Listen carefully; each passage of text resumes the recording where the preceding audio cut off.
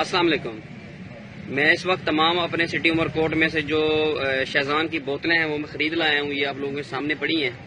और मैं इन्हें आप लोगों के सामने अब नाली में लाइव बहा रहा हूँ कि पूरे मेरे इलाके के पूरे लोग और सोशल मीडिया के पूरे दोस्त देखें, क्योंकि ये क्यों हम बहा रहे हैं। मगर हमारे दोस्त कहते थे कि जी हमने खरीदी हुई है, हमारा नुकसान ना हो, हम ये बेच लें और उसके बाद दोबारा नई नहीं लेके आएँगे